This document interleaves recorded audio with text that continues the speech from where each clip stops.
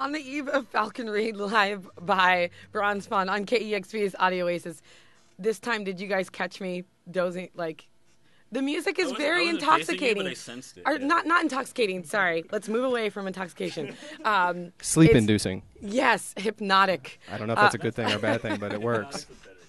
Um, it's it's very nice. I appreciate it a lot. I, I like the, the different elements of it. It's really great. Um, what does the future hold for Bronze Fawn? Right now, we're just trying to write more songs. Um, enjoy the summer. I mean, we're all friends, so we can be slow at getting things done. Obviously, We took three years in between records. Yeah. so Yeah, cool. Um, well, I look forward to hearing more from you guys and seeing you guys around town.